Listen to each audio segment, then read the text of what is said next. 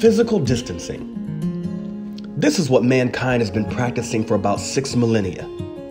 When flu season or other pandemics come around, the elderly and those otherwise physically compromised voluntarily and wisely distance themselves from those who are contagiously ill. I call this common sense. Let us continue the practice. Social distancing. This has become the COVID 19 watchword. Six feet apart, everybody. Stay in your own houses. No more than five in a group. But this term was foreign to our vernacular prior to this pandemic. This is not the voluntary physical distancing that we have known and understood. It is a government mandated distancing, which is both physical and social. One may ask, how can the powers that be convince the populace to self isolate? The answer? Simply by convincing them that it is for the greater good of society. A Stanford University professor of psychology recently stated that we should cut it out with all the talk about social distancing. Perceiving the negative stigma, he encouraged instead the term physical distancing. While everybody remains socially connected, even while being apart during COVID 19. For he realizes that it pushes against human beings' fundamental need for connection with one another. Socially connected while being apart. Interesting concept connected while apart, together apart, virtually connected, virtually together. What is going on? We humans don't really know how to do that. The social destruction resulting from the World Wide Web is proof. Introduced with the promise to enable people to connect, it has caused the social distancing of the masses. Cyberlife, with its virtual friends and relationships, have left human beings empty, lonely, and depressed. Suicide rates have skyrocketed. Young adults with high social media use feel more socially isolated than those with lower media use. Society is in a mess and people are hurting from their isolation.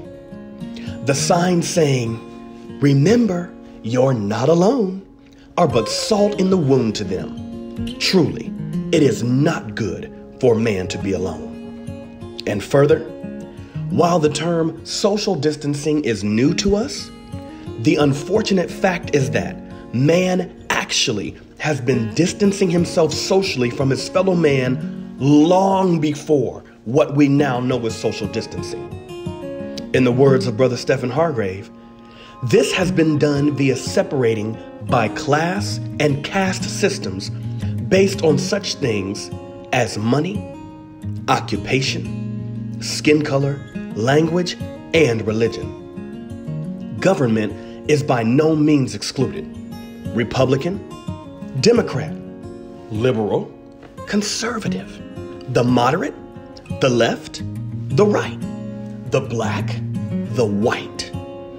Why do we, the human family, have to be distant? Why are we divided?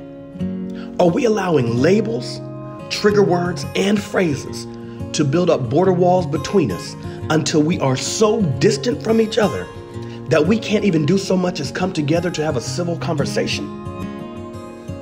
Moving forward, and we will move forward. Will we allow ourselves to continue to live in a segregated society with an overshadowing fear to sit together, talk, or eat together? Don't we all have mutual joys, sorrows, and pain? Doesn't everyone enjoy good food and laughter with family and friends? We all know what it is to love, to laugh, to weep, to grieve. We are social beings.